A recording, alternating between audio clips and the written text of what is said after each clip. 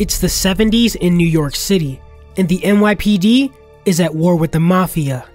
And the Mafia, well, they were winning.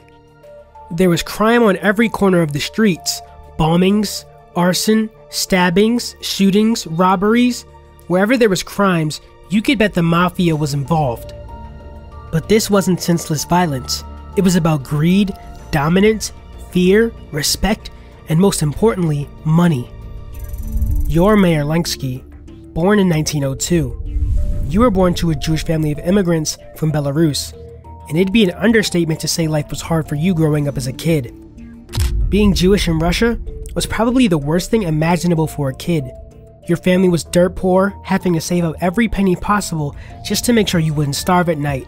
You had no friends your age, and you'd be beaten, shot, stabbed, or worse, all because you were Jewish.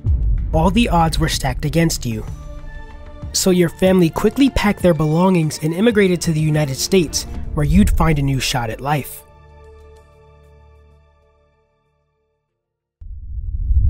So there you are, finding your way through the busy streets of East Side Manhattan. It was an absolutely mesmerizing place to be. It was if the city pulsed with the heartbeats of immigrants, each seeking their own American dream. But for you, you had a different type of dream. You didn't want to be the next poor immigrant struggling to put food on the table, another peasant at the bottom of society. No, you'd be the exact opposite of everything you sought to leave behind in Belarus. You made it your mission to be so rich that you'd be the next king of America. And this place would be the beginning of a fortune for you, and you'd do anything to make sure it happened. As a kid, you did whatever you could to fit into the Manhattan mob scene. You'd gamble, rob people, and vandalize property in an attempt to make a name for yourself. But while you were out there, you learned a lot of skills that'd be useful how to be cunning, how to survive, and more importantly, how to make money. But now you were a bit older. You've been around the block enough times to know all the tricks. You're no longer that little boy anymore. It was time to step up and join the ranks as a mobster. You were ambitious and always ready to go, but you still knew who to mess with and who not to. You weren't stupid. It was here, in the blur of the New York City lights, that you met Benjamin Bugsy Siegel, your childhood companion. You two were more than friends, you were brothers. You could trust him with your life, and he could trust you with his, and eventually, you two would even begin to make money together. Which is where you'd learn your first lesson in the Mafia Bible to Riches.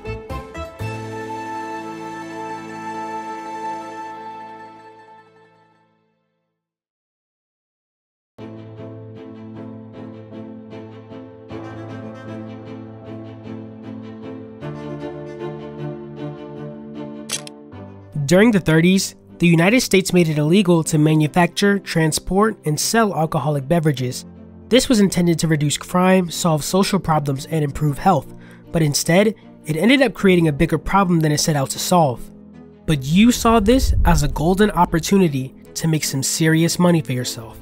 The government didn't want to sell people alcohol? No problem. You would be the one to do it. And you charge triple the price too. It was a win win. People got their alcohol, you got your money, and the government got a giant middle finger. So you gathered your mafia brothers, came together, and created a plan to join the lucrative liquor trade. This business was all about smuggling alcohol and selling it secretly to make a boatload of money. And voila, bootlegging was born. The demand for alcohol skyrocketed overnight after being outlawed, making bootlegging a highly profitable business. You had money coming in, clients in the door, and were screwing the government. What more could you ask for? This era saw the rise of notorious mobsters like Al Capone, who made fortunes from the bootlegging operations and the associated violence and corruption that came with controlling the bootlegging market. But now it was your turn to cash in. First off, you know the game. It's risky, but the payoff is huge. And since the government said alcohol's a no go, everyone wanted it even more, and you'd be the one to quench their thirst. After you've earned your stripes, you had a mafia network like a spider's web, connecting you with the people who made the alcohol, those who bring it to you, and all the places you'd sell it, called the speakeasies. It's not just about moving bottles, it's about being smart and getting out while you can. Getting the alcohol was key. You'd have friends in other countries who'd send you the good stuff, hiding it in boxes that looked boring on the outside. You also knew folks closer to home who'd make it in secret. It wasn't the fanciest, but there was a lot of it. Moving this alcohol is where you shine. You've got cars that look normal but are fast and have secret spots to hide the bottles. This way, the alcohol can get to where it needs to go without the police catching on. It's like a game of cat and mouse, but you were always one step ahead. The illegal clubs are where the magic really happens. They look ordinary on the outside, but inside, they're full of life and laughter. People needed to know the secret word to get in. Inside, they could forget about the law and enjoy themselves over a nice cold beer. And you had places like this hidden all across the city. Of course, you've always got to watch out for the law. Their job was to catch you, and your job was not to get caught. But you were smart. You've got people watching out, and you're always ready to do what it takes to protect your business. This was your world. You've built something huge because you saw a chance when everyone else saw a problem. As long as the law says no to alcohol, you'll be the one there to say yes, making sure people get what they want and you get paid. But your aspirations at becoming filthy rich wouldn't end there. In fact, they'd bring you to the next chapter in the Mafia Bible to Riches.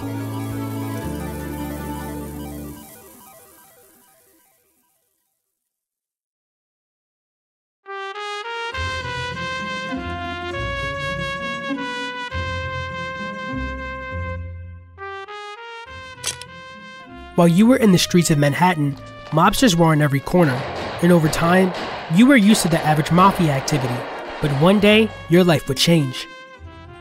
You were minding your business, walking home from school, when you were approached by an older mafia teen, Lucky Luciano. He attempted to extort you for protection money, but you didn't flinch. There was a fire in you, a defiance that earned his respect. It was a confrontation turned companionship, and together, it marked the beginning of an organized crime syndicate that would make you rich beyond your wildest dreams. It was 1929, and Lucky Luciano had the dream to create his own criminal organization. He gathered some of his most trusted people, and together, you, Lucky Luciano, Johnny Torrio, and Frank Costello all came together to form the Italian, Irish, and Jewish Mafia. So, in your first move after creating the new syndicate, you knew you needed a way to get the bootlegging and blood money from the streets off your hands and get all new clean cash to start your new business venture. The first thing you'd need to do is move your money around to make it look more legit.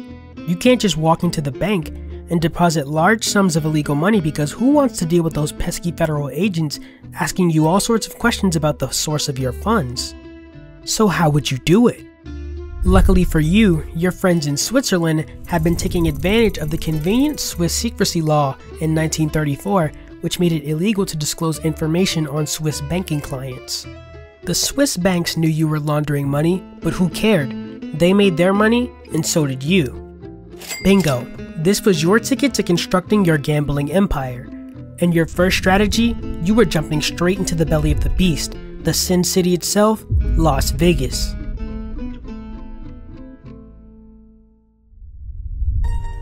You see, at the time, another massive opportunity had presented itself. Like you had learned in Chapter 1, it was very profitable to defy the government.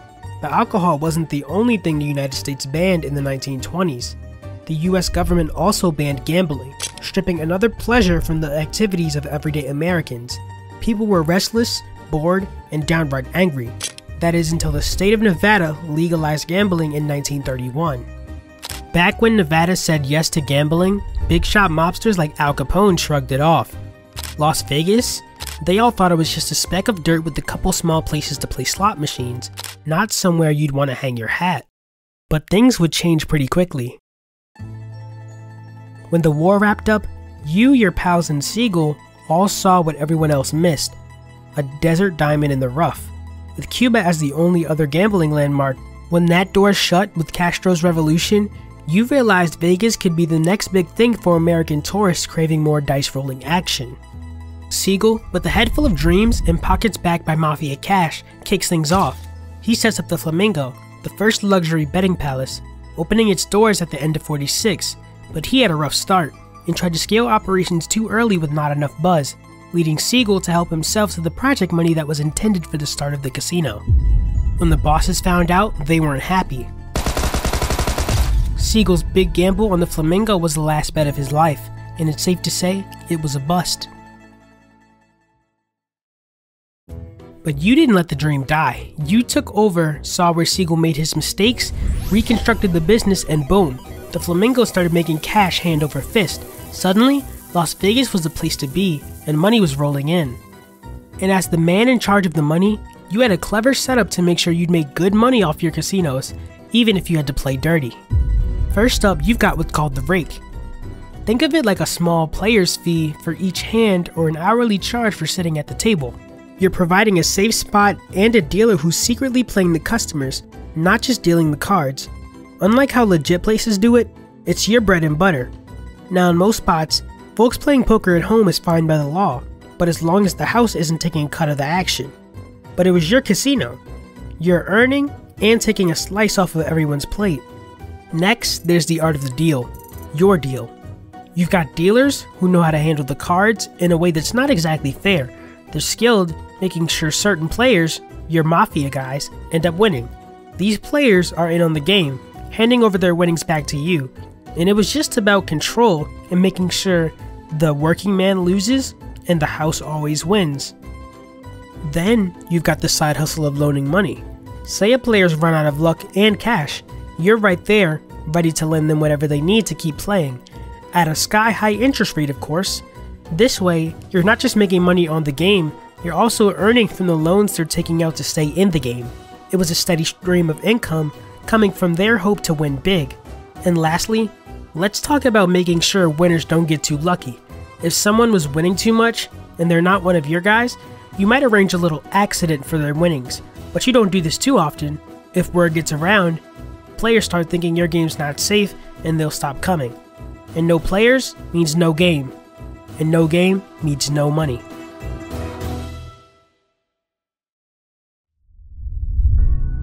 Fast forward a bit, and now you've got the Chicago and New York families setting up shop too. Stardust, Desert Inn, Riviera, big names pulling in big crowds, and by the 60s, Vegas was the promised land for anyone looking for a good time and a chance to win big.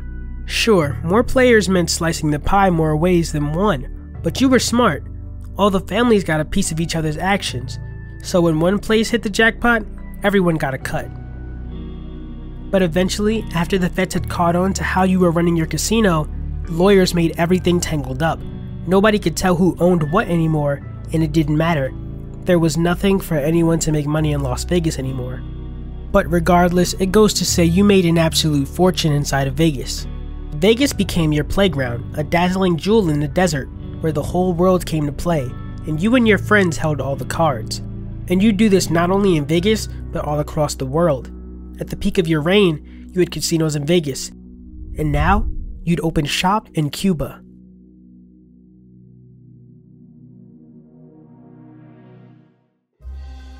It's 1952, and you've already established yourself in Vegas. Now you're eyeing Cuba. The place has potential. A tropical paradise begging for high stakes gambling to make a big comeback. But you ran into a problem. The current president isn't playing ball. So what do you do? You find a way to bring back the guy who will Batista. You offer a nice little incentive, say a quarter of a million dollars, to the current guy to take a hike so your man Batista can take over. Smooth, right? Now Batista's in charge thanks to you, he owes you one big time, so you strike a deal. You'll be the behind the scenes gambling czar for a cool annual salary of $25,000. In return, you help get the gambling scene in Cuba back to its former glory. But you're thinking bigger than just getting things back to how they were. That just wasn't enough control. You needed one more layer to ensure you'd make a profit when deals were made. So Batista changed the laws in a way that was music to your ears. Wanna open a casino? Sure, just invest $1 million to open a casino. Or you could invest $200,000 on a new nightclub or hotel that I own, and bam, you've got yourself a gaming license. This opened the door wide open for investments, making Cuba a magnet for high rollers and big spenders all over, all the while giving you a quiet monopoly on Cuba's gambling scene. In simple terms, you've turned Cuba into a gambling paradise all under your control. You were running the show, you are pulling the strings of the entire operations, setting the stage for a golden age of gambling that puts Cuba on the map. You've got casinos, nightclubs, and luxury hotels, all lining your pockets and solidifying your status as the boss of all bosses in the gambling world.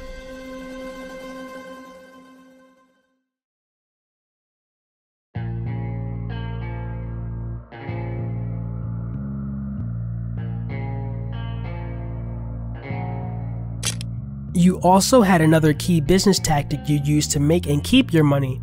You're a mastermind with a network that reaches into the darkest corners of power. When you rise to high places, naturally you get friends in high places, and it was only a matter of time before you were the puppet master pulling the strings of any target of your choice. So now, instead of being on the run from law enforcement, you turned the tables and now you had law enforcement lined in your sights. It seems that law enforcement didn't quite get the memo.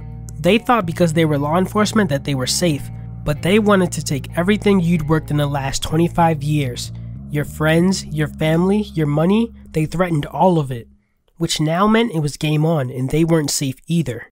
And after some digging with the help of your friend, Frank Costello, you found yourself in possession of some very compromising photos of J. Edgar Hoover, the head of the FBI at the time. These weren't just any photos, they showed Hoover in sexual situations he would never want the public to see. With these photos, you had leverage over one of the most powerful men in America. The way you got these photos was no accident either. They came from exclusive parties where the elite and powerful would go to let their guard down, and you used these events to gather secrets to get Hoover to completely deny that the Mafia was even doing anything illegal. With this dirt on Hoover, you could operate criminal activities with a sort of safety net, Hoover, who was normally untouchable and went after businessmen like you, now had to tread carefully. This had solidified you as someone to be feared, respected, and not to be messed with. You had influence over important figures from politicians to judges. You had them all in your pocket because you knew their secrets. Despite being watched by the FBI, you were never caught, and people wonder to this day how you managed this. But the answer lies in the secrets you held and the pages you took from the Mafia's Bible to Riches. Your story is about more than just crime. It's a lesson in how ambition and the search for power can sometimes lead you down a dark path. It shows that the world of crime and power is complex, and sometimes to understand it, we need to look beyond the surface. Thank you for watching The Dark Side of Dollars, and remember, the truth is in the details.